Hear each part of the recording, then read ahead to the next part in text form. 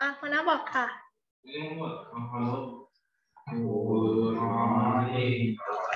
สวัสดีค่ะ สวัสดีนักเรียนทางบ้านด้วยนะคะ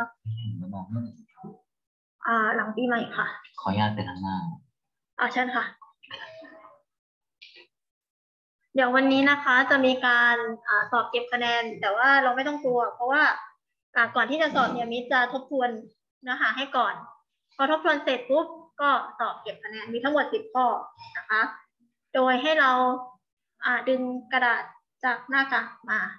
เขียนโจทย์แล้วก็ตอบแค่านั้นนะคะ ซึ่งเนื้อหาที่เราจะาเก็บคะแนนเป็นเรื่องเกี่ยวกับ reported speed ซึ่งก่อนหน้านี้เราก็ได้ทบทวนกันไปแล้ว แต่เนื่องจากว่าอ่าบางคนอาจจะยังไม่เข้าใจกันเพราะเนื้อหาเรื่องนี้ค่อนข้างยากแต่เดี๋ยวมีจะทบทวนให้อีกรอบอย่างรวดเร็วแล้วก็สอบเก็บคะแนนนะคะ ไม่ต้องเครียดนะ อ่า ขอเช็คชื่อก่อนนะคะสามทับสอง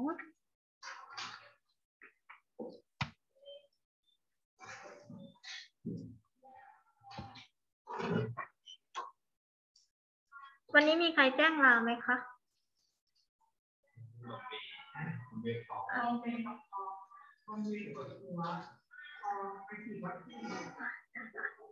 กับทองบอมเบย์กับทอง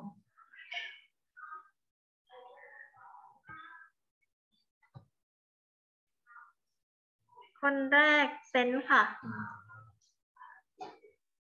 ต่อไปแพรวาค่ะ แพรวาเรียนออนไลน์ไหมคะ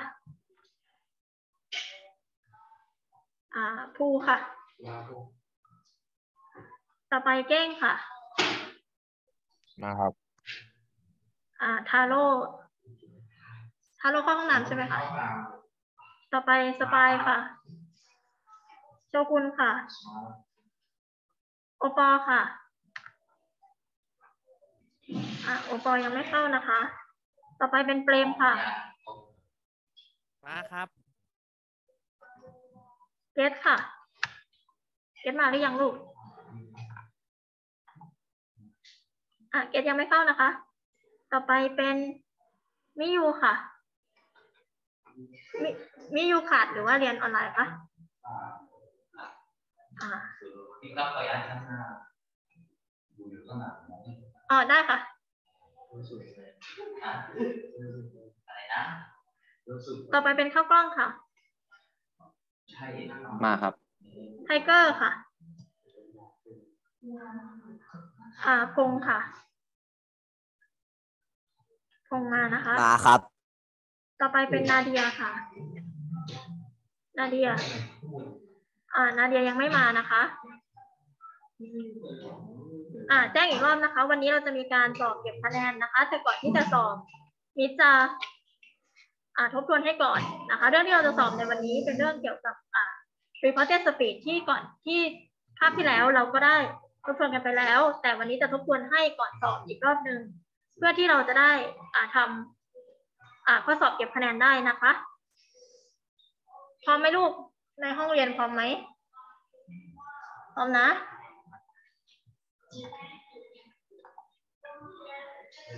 เนื้อหาที่เราจะ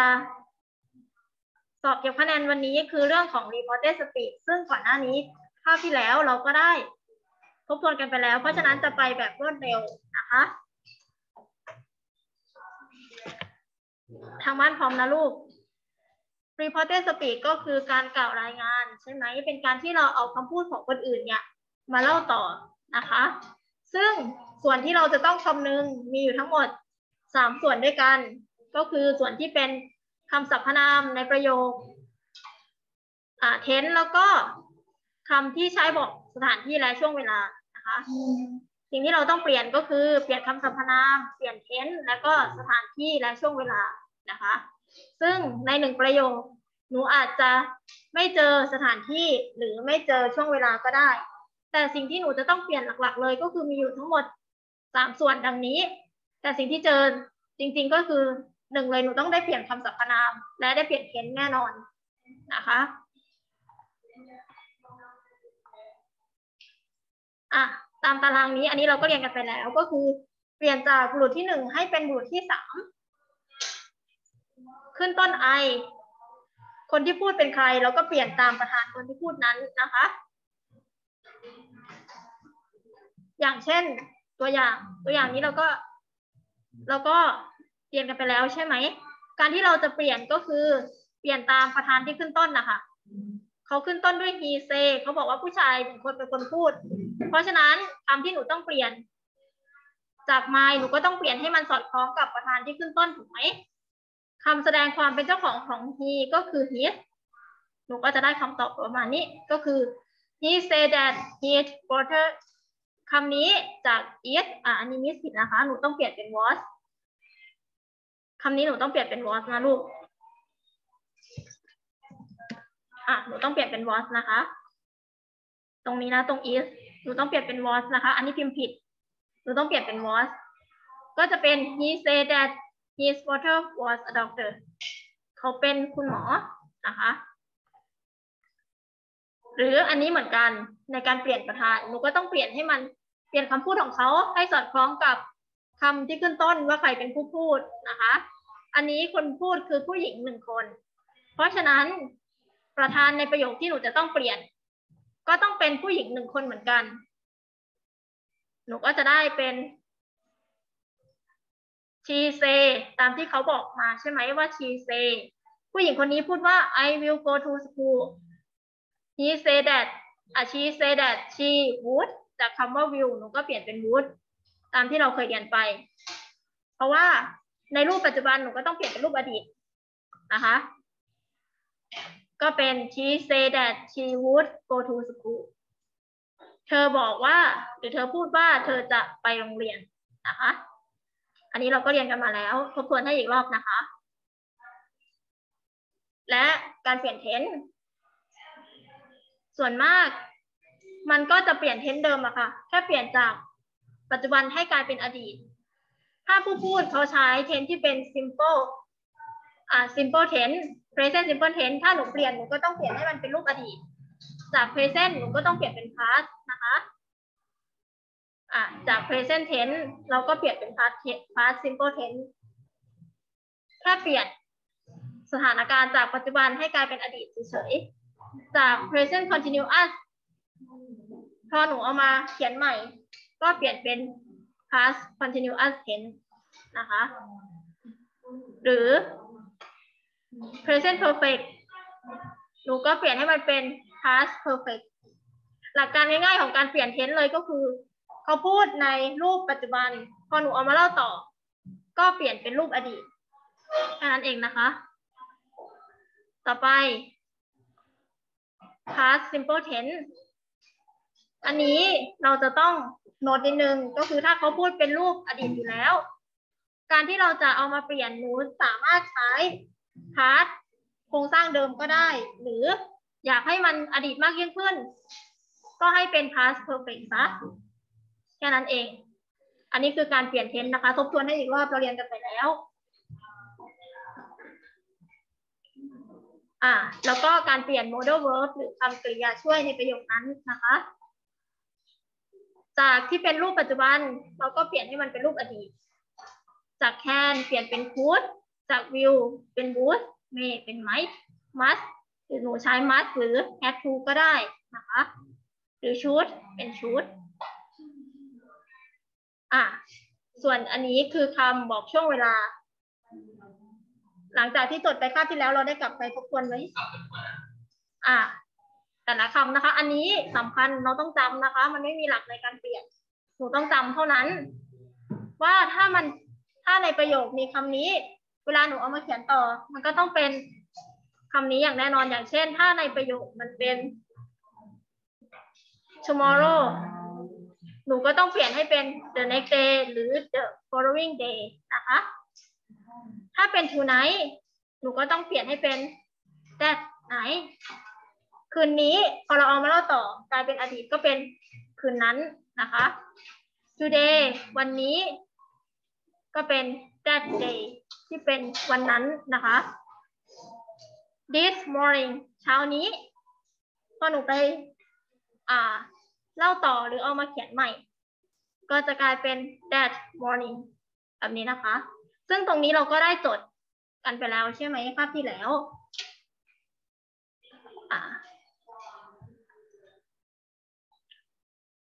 จำได้ไหมคะ อยากจะจดอีกรอบไหมอะ ถ้างั้นท้ายคาบเราต้องทำแบบฝึกหัดให้ได้นะคะ ก ระดาษใช่ไหมแป๊บนึงแป๊บนึงครับ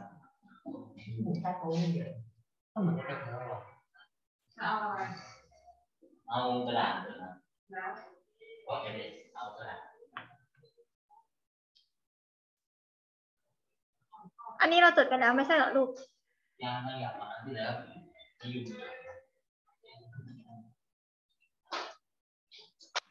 อะทางบ้านจดไปด้วยนะคะ ถ้าใครยังไม่จดตรงนี้ เราเรียนกันไปแล้ว อันนี้ทบทวนก่อนที่เราจะทำแบบฝึกหัดนะคะ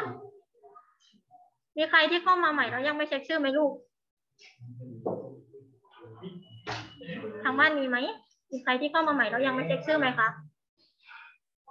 อ่าเดี๋ยวมีเรียกเรียกชื่อให้อีกรอบนะคะแปลว่ามาหรือยังเอ่ยอ่าทาโร่ค่ะครับป้าครับต่อไปเป็นโอปอค่ะ ปอมาค่ะ อ่าเกตค่ะยังไม่ได้เปิดเกตมาหรือยังลูก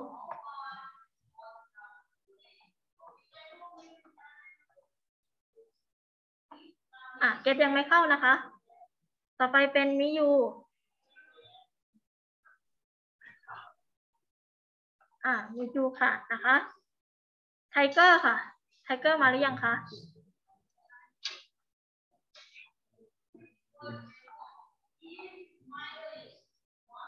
ไทเกอร์ก็ยังไม่เข้านะคะ ต่อไปสุดท้ายนาเดียค่ะ นาเดียมาหรือยังคะ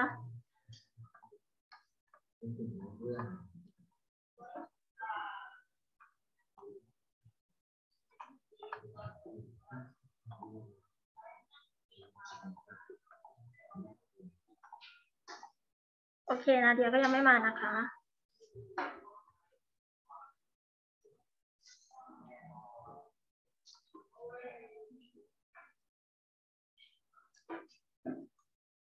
คำระบุช่วงเวลานะคะ จะเจอในข้อสอบออกบ่อยมาก ซึ่งเขาอาจจะหลอกมาให้หนูเพราะฉะนั้นให้หนูจำนะคะ ถ้าสมมติว่าหนูมาโครงสร้างถูกต้องเป๊ะ แต่ว่าคำบอกช่วงเวลาหนูเปลี่ยนผิด ในข้อสอบหนูก็ผิดนะคะ เพราะฉะนั้นจำให้ได้ว่าถ้าในคำคำนี้ในประโยคพอเปลี่ยนให้มาเป็น reported speech เนี่ย หนูจะต้องเปลี่ยนเป็นคำไหน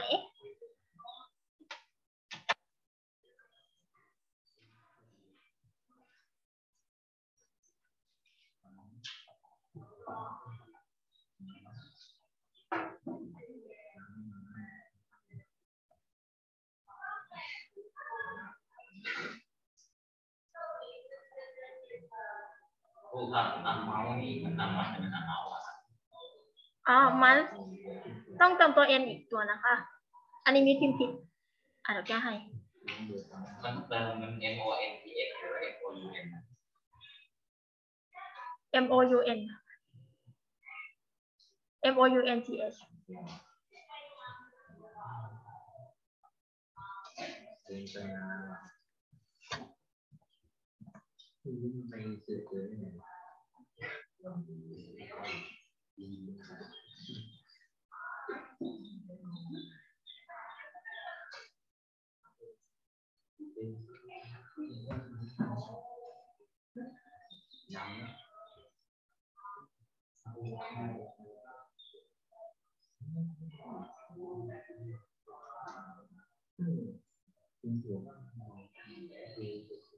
ะ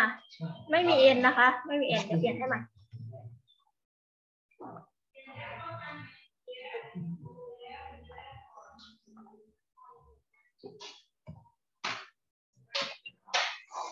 อะเป็นคำนี้นะคะ อะ อันนี้เราก็ได้ลองทำกันไปแล้วนะคะ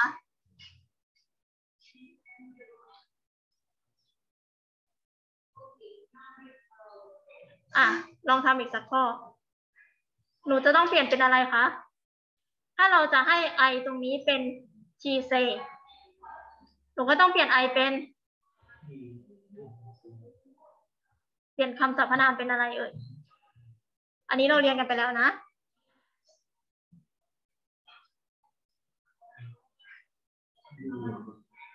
ถ้าเราจะขึ้นต้นด้วย she say ก็ต้องเป็น she say จากวิวเราก็ต้องเปลี่ยนเป็น เป็นอะไรจากวิว would ฮะ wouldก็ต้องเป็น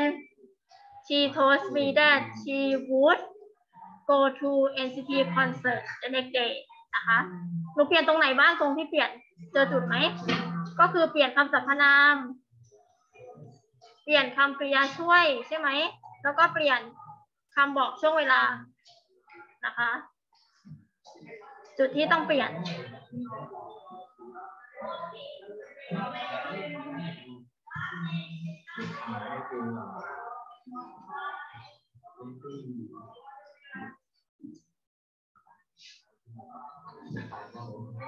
อ่า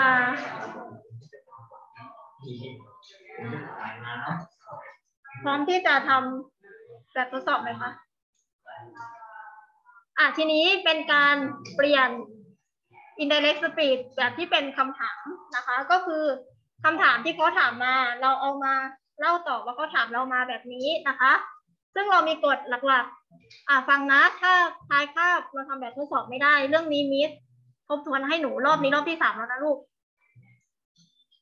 เพราะฉะนั้นถ้าท้ายคาบเรายังทำแบบฝึกหัดไม่ได้ ก็อาจจะทำข้อสอบไม่ได้นะคะ อะอันนี้เป็น indirect speech แบบ question ก็คือการเอาคำถามที่มีคนถามเรามาเล่าต่อนะคะกฎข้อแรกเลยก็คือ ให้เราตัดเครื่องหมายคำถามในประโยคนั้นออก เพราะอะไร เพราะเมื่อเราเอามาเล่าต่อจากที่เป็นคำถาม ก็ต้องเปลี่ยนเป็นบอกเล่านะคะ และกฎข้อที่สองก็คือ เปลี่ยนคำกริยานาม หรือเราเรียกว่า reporting verb นะคะ เปลี่ยนให้เป็นจากคำว่า say said หรือ show เนี่ย ให้เป็น ask และ inquire นะคะ ที่แปลว่าถามกับสอบถาม จากที่บอกว่าผู้หญิงคนนั้นพูดว่า ก็จะเป็นผู้หญิงคนนั้นถามว่า แบบนี้นะคะอะกฎข้อที่สี่อะกฎข้อที่สามบอกว่า ถ้าประโยคที่เป็นคำถาม ประโยคที่เป็นคำถามนะ ขึ้นต้นด้วย verb to do verb to do verb to have และ verb to be หรือขึ้นต้นด้วยคำกริยาช่วยต่างๆ ไม่ว่าจะเป็นขึ้นต้นด้วย will ด้วย can พวกนี้ค่ะ เราจะต้องมีคำมาเชื่อมในประโยคด้วย ก็คือมีคำว่า if หรือ whether อะหนูจะเลือกคำไหนมาเชื่อมก็ได้ แต่ต้องมีหนึ่งในสองคำนี้มาเชื่อม ถ้าประโยคคำถามนั้นขึ้นต้นด้วย verb to do verb to have และ verb to be นะคะหรือหรือขึ้นต้นด้วย will หรือ can ซึ่งคำถามเหล่านี้มันจะเป็นคำถามที่หนูจะตอบ yes no question เป็นการตอบแบบ yes no นะคะ และข้อที่สี่บอกว่า ถ้าประโยคคำถาม ขึ้นต้นด้วย ws question ไม่ว่าจะขึ้นต้นด้วย what were when why who whom whose หรือ how เราไม่ต้องมีคำเชื่อม เราเอาคำเหล่านี้ต่อได้เลย แต่ว่าหนูต้องสลับตำแหน่ง ระหว่างคำกริยากับคำสรรพนามคำกริยากับคำอ่ากับประธานในประโยคนั้นนะคะ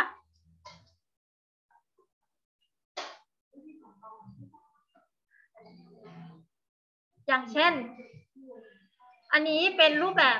คำถามแบบ yes no question ก็คือขึ้นต้นด้วย verb to be หรือ verb to do verb to have ถ้าขึ้นต้นด้วยแบบนี้ เราจะต้องมีคำเชื่อมใช่ไหมคะ คือคำว่าอะไรกับอะไรนะเมื่อกี้จำได้ไหม ต้องมีคำเชื่อมอยู่สองคำ ไม่ if ก็ ไม่ if ก็อะไร มีคำเชื่อมอยู่สองคำ ถ้าขึ้นต้นด้วยรูปประโยคที่เป็น verb to be ก็ต้องมี if หรือ whether มาเชื่อมใช่ไหมคะ ประโยคนี้เขาพูดว่า สมพงษ์ said to us สมพงษ์บอกกับพวกเรา อะ บอกกับพวกเราว่า are you leaving for Bangkok today คุณจะออกไปจากกรุงเทพวันนี้ไหม อะ อันนี้เป็นคำถามของสมพงษ์ที่ถามพวกเรา พอเราเอามาเล่าต่อใช่ไหมลูก หนูก็ยึดสมพงษ์เหมือนเดิม หรือหนูจะเปลี่ยนสมพงษ์เป็น he ก็ได้ จะแทนเป็น he ก็ได้ อ่า ในกรณีนี้คือมิแทนเป็นสมพงษ์จากคำว่า say ใช่ไหมตามกฎเราก็ต้องเปลี่ยนเป็นอ่า enquire หรือเปลี่ยนเป็น ask ก็ได้นะคะอะอันนี้คือจุดแรกที่หนูเปลี่ยนใช่ไหม say to us inquire of us และคำเชื่อม ทำไมถึงต้องมีคำเชื่อม เพราะว่ามันขึ้นต้นประโยคด้วย verb to be เห็นไหมอะถามใคร ถามพวกเรายูคำนี้สามารถเป็นคุณหรือพวกคุณก็ได้นะคะ อะถามพวกเราก็เป็น we ใช่ไหม เพราะว่า us เป็นกรรมของประธาน we นะคะ we อะไรล่ะ ทีนี้จาก are ที่เป็นรูปปัจจุบัน เรามาเปลี่ยนเป็นอดีต ก็จะมีอยู่สองตัวที่ใช้ที่ใช้ใช่ไหม ถ้ารูปอดีตของ verb to be ก็มี was กับ were ทีนี้อันนี้ขึ้นต้น r เพราะฉะนั้นรูปอดีตของหนูก็ต้องเป็น were แล้วก็ต่อด้วย living for Bangkok จาก today เราก็เปลี่ยนเป็น that day คำบอกช่วงเวลานะคะอะอันนี้หนูลองเปลี่ยนเอง ถ้าอันนี้หนูจะเปลี่ยนเป็นอะไร เขาบอกว่า she sent she said to me can you sing a song เธอคนนั้นน่ะถามฉันว่า คุณสามารถร้องเพลงได้ไหม อันดับแรกหนูต้องเปลี่ยนอะไรก่อนลูก ต้องเปลี่ยนคำที่เป็น reporting verb ใช่ไหม ลี่ยนจาก say เป็นรีควายอ่า inquire หรือ ask ก็ได้นะคะ to ใครก็คือ to ชั้นเหมือนเดิม ถามว่าอะไรคะ ขึ้นต้นด้วย can หนูต้องมีคำเชื่อม เพราะ can คือหนึ่งในคำกริยาช่วยใช่ไหม อ่า จาก you เราต้องเปลี่ยนเป็นอะไรคะ เขาถามฉันว่า มี ไออะหนูก็จะเป็น she asked me if I could จาก can ก็ต้องเปลี่ยนเป็น could sing a song ฉันสามารถร้องเพลงได้ไหม แล้วก็ตัด question mark ออก เพราะว่ารูปที่หนูเอามา เพราะพอหนูเอามาเล่าต่อจากประโยคคำถามที่เขาถามตรงนี้ มันก็จะกลายเป็นประโยคบอกเล่านะคะ เพราะว่าไม่ใช่คำถามที่เขาถามแล้วหนูเอามาเล่าต่อจากที่เป็นคำถามเนี่ย มันก็จะกลายเป็นบอกเล่าทันที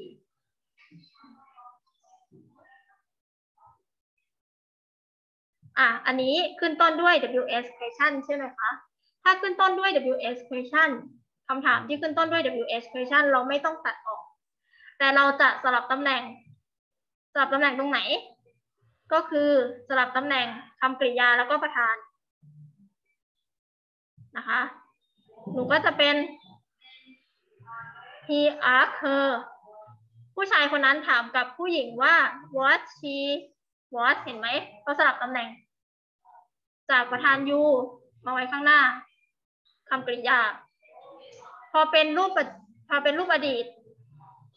จาก are ใช้กับประธาน you ใช่ไหม แต่ทีนี้พอนี้ประธานหนูเปลี่ยนมาเป็น she หนูก็ต้องเปลี่ยนมาใช้ was เพื่อจะผันตามประธาน doing then จาก now ก็เปลี่ยนเป็น then พอจะเข้าใจไหมคะ เรื่องนี้สรุปเลยก็คือ เราเรียนเรื่อง reported speech เป็นการนำเอาคำพูดของคนอื่นมาเล่าต่อ มีอยู่ทั้งหมดสองแบบใช่ไหมคะ แบบที่เป็น direct กับ indirect แบบ direct เนี่ยเราจำง่ายๆก็คือมันเอาคำพูดของเขามาทมาเล่าทั้งหมดเลย เพียงแค่บอกเพียงแค่บอกว่าใครเป็นผู้พูดเฉยๆบอกแค่ว่าใครเป็นผู้พูด แล้วก็ยกประโยคของเขาทั้งหมดมามาเลย ว่าเขาพูดว่าอะไร โดยที่เราจะมีเครื่องหมายคำพูดกำกับไว้ เพื่อจะแสดงว่า ตรงที่ประโยคที่อยู่ในเครื่องหมายเนี้ยเป็นคำพูดของเขา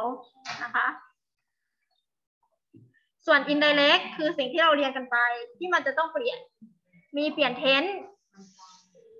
เปลี่ยนประธานแล้วก็เปลี่ยนช่วงเวลานะคะอะทีนี้ เรามาสอบเก็บคะแนนกัน หลังจากที่ทบทวนไปทั้งหมดแล้วนะคะ อ่า ให้เราเอากระดาษขึ้นมาเขียนวันที่ค่ะ ทางบ้านด้วยนะคะ ส่งไหมครับส่งค่ะ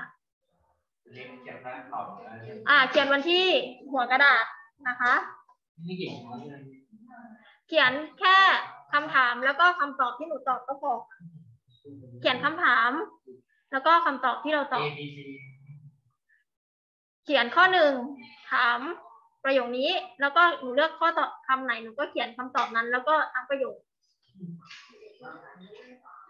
เขียนคำถามปุ๊บสมมุติว่าหนูเลือก A หนูก็ตอบ A แล้วก็เขียนประโยค A ทั้งประโยค ตรงนี้ก็ไม่ต้องเขียน อ่า เขียนวันที่ข้างบนนะคะ อะไรนะคะ ใช่ค่ะ ทางบ้านด้วยนะคะ ให้ทางบ้านเตรียมกระดาษ ขึ้นมาเขียนวันที่ อันนี้เป็นสอบเก็บคะแนนนะคะยี่ห้อเป็นมีครับสิบเป็นคข้รับอค่ะอันนี้เป็นสอบเก็บคะแนนนะลูกเอ่อใครที่ไม่ได้สอบเม็ดครับคะอ่าต้องเขียนโจทย์ด้วยไหมครับหรือเขียนแค่คำตอบ อ่าเขียนโจทย์หนึ่งข้อที่หนึ่งเขียนโจทย์แล้วก็เขียนคำตอบ พร้อมเนื้อหาคำตอบค่ะ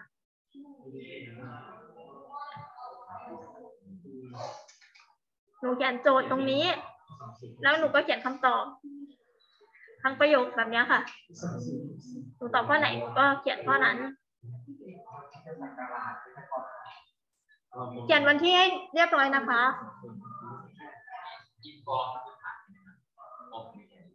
อะทางบ้านถ้าหนึ่งข้อนี้เสร็จแล้วให้แปะมือไว้นะคะ มีจะได้รู้ว่าหนูเสร็จหรือยัง มีจะได้ไปข้อต่อไป อันนี้เดี๋ย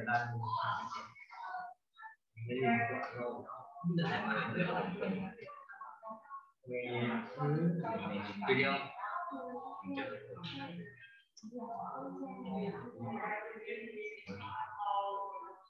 แต่เล่นอีกาอย่างข้อนี้ตอบอะไรลูกได้ไหมหนูต้องเปลี่ยนตรงไหน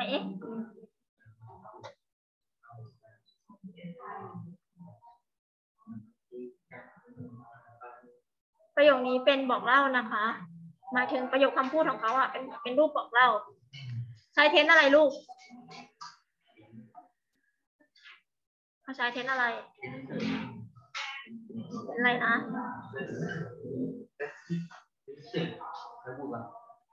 ทางบ้านเสร็จแล้วแปะแปะมือไว้นะคะ เดี๋ยวเพื่อนทางบ้านเสร็จหรือยังลูก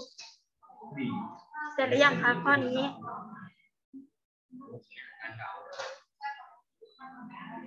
ข้อสี่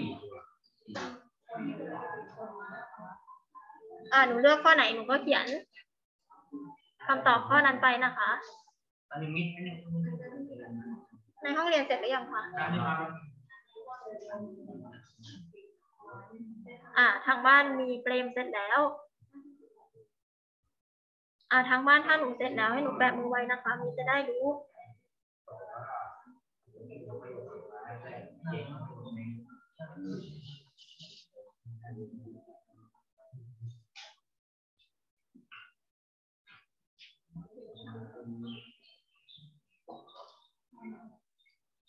ข้อสอบของเราก็จะเป็นลักษณะเนี้ยค่ะ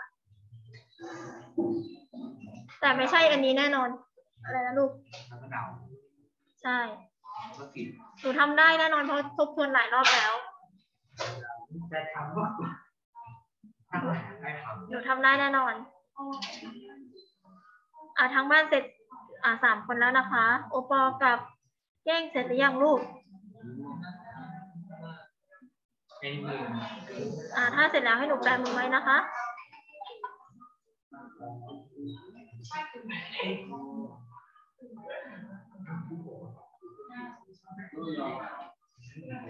ในห้องเรียนใครยังไม่เสร็จนะคะ อะไรอยากดู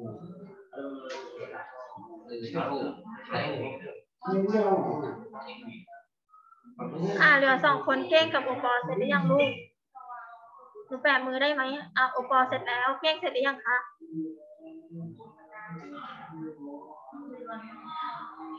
อะเราเสร็จแล้วใช่ไหมลูกข้อแรก อะข้อสอง อะข้อสองตอบค่ะ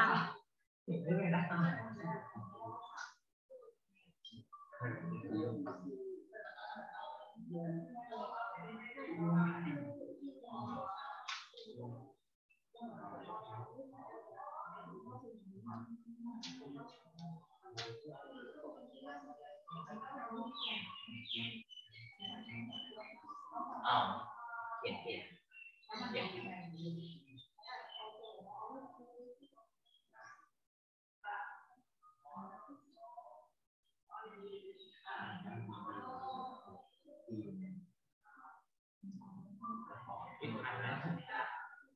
อ่านักเรียนออนไลน์ถ้าถ้าไม่ทันไม่เป็นไรนะคะ เดี๋ยวมีจะส่งอ่าชอยให้นะคะ ระหว่างนี้หนูเหลือเก้านาทีน่าจะทัน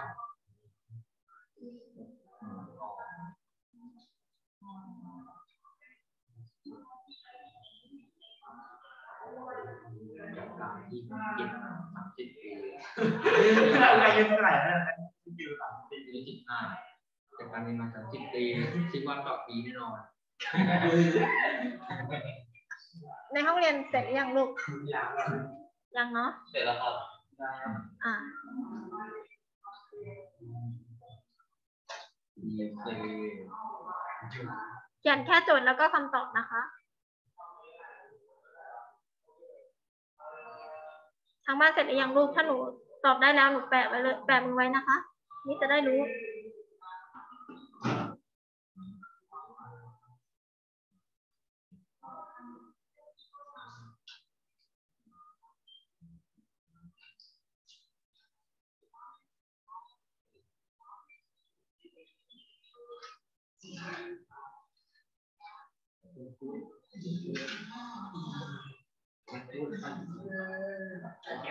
อ่าขอไปข้อต่อไปเลยนะคะ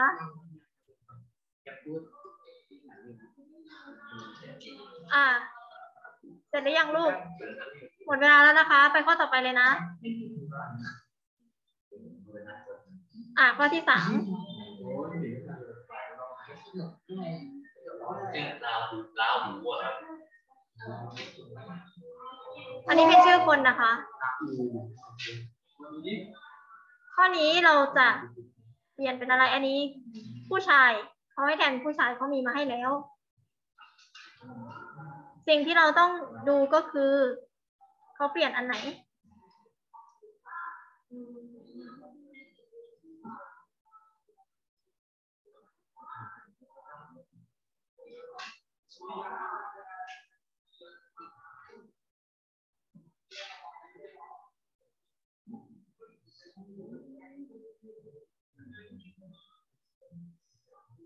ตอ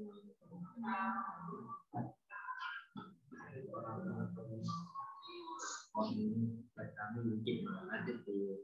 เมื่อกี้ไม่บอกครับเออชื่อแม่นี่ไงแล้วก็อ่าขออนุญาตนิดนึงนะคะ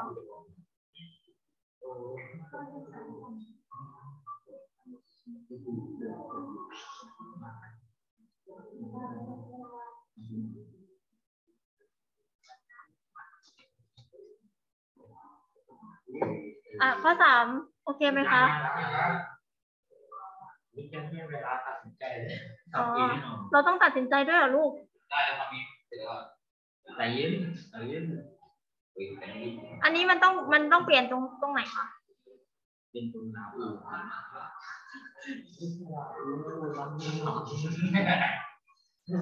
อ่าเราต้องเปลี่ยนจากวิวเป็นวูดใช่ไหมหนูตอบข้อไหนกันข้อนี้ทำ เองแล้วไงอ่าต่อเลยนะคะ เดี๋ยวเพื่อนๆไม่ทันเอาเอาไม่เฉลยนะครับนิดนิดนิดยังไม่ติดข้อที่สี่นะคะยังไม่ติดนิดซะแล้วอ่าข้อที่สี่เรา ตอบอะไรคะ อันนี้เขามีมาให้แล้วหนูแค่เติมช่องว่างเฉย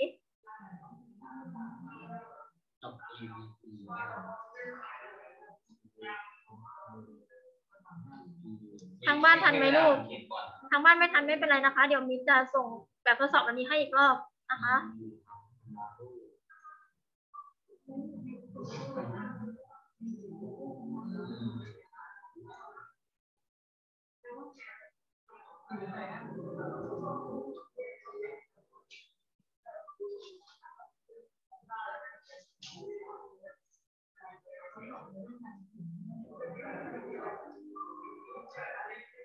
เก่งชั้นมาก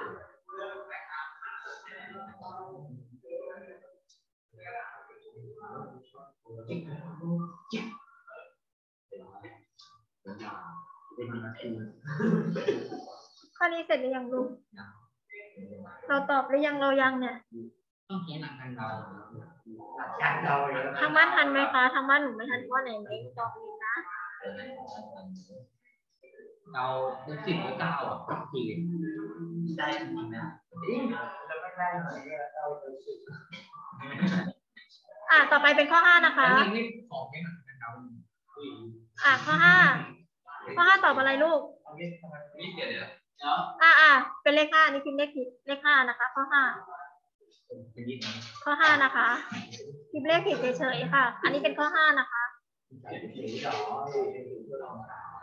สีดอเป็นส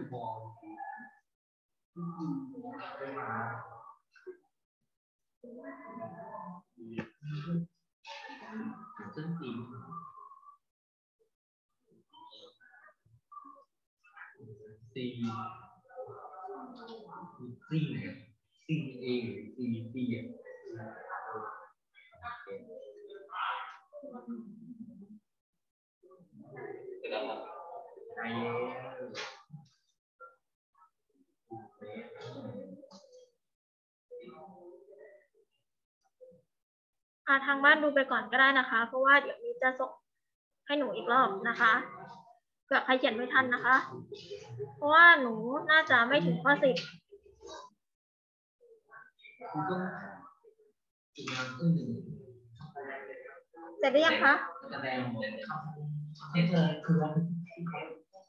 ครับเน็ตเลยคืออะไรคืออะไรวิชาแถวนี้เสร็จหรือยังลูกเป็นเสร็จหรือยังคะเดี๋ยวมันไม่ต้องครูเสร็จหรือยังลูกข้อหนึ่งอ่าเออข้อนี้คาดว่าข้อนี้ข้อหกนะคะ ข้อที่หกคาดว่าตอบปีแน่นอนแต่การเรียนมาพวกปีไม่ถึงหรอกสิบโอ้นั่นมันน่าจะขึ้นไม่ไหวไม่ได้เอาดีๆด้วยไม่ได้เรื่อย ให้เราเขียนตัวหนังสืออ่านออกด้วยนะคะ เพราะว่ามีต้องเอาของหนูไปตรวจนะมีที่เต็มหรือเปล่า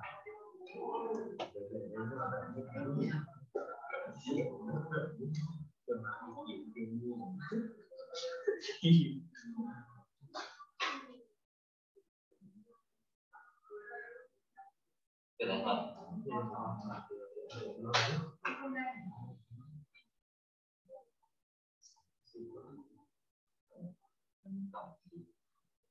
ข้อสอบของเราก็จะเป็นลักษณะเนี้ยค่ะ มีมีประโยคมาให้แล้วหนูก็เลือกคำมาเติมในประโยคให้ถูกต้องนะคะ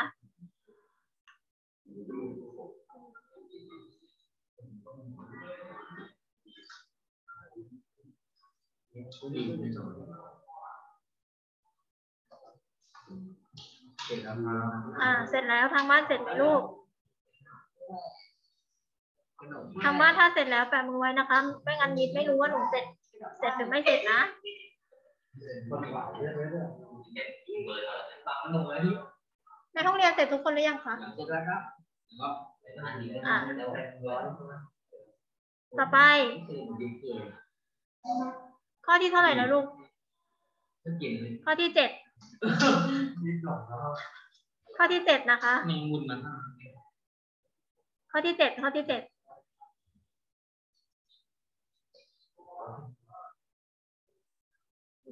วิ่งมาคุณเป็นกำลังไม่หรอไม่พอใช่ไหมคะอ่าได้ค่ะแต่เขียนข้อให้ชัดเจนก็พออย่าลืมเขียนชื่อนะคะสิบสิบสิบยิงดู เวลาเรา อ่า เดี๋ยวรอเพื่อนก่อนนะคะโอเคหนึ่งซึ่งคือซึ่งมันเอออ่า นักเรียนออนไลน์ตอนนี้ของหนูเหลืออยู่หนึ่งนาที อาจจะไม่ทันถึงข้อสุดท้ายไม่เป็นไรนะคะ เดี๋ยวมิจะส่ง อ่าคำถามและช้อยให้อีกรอบนะคะ หนูก็รอคำถามพอได้คำถามแล้วหนูก็ตอบมา ตอบเสร็จแล้ว ก็ถ่ายรูปแล้วก็ส่งมาให้มิตรนะคะเดี๋ยวมิตรจะตรวจแล้วก็ส่งคะแนนกลับไปให้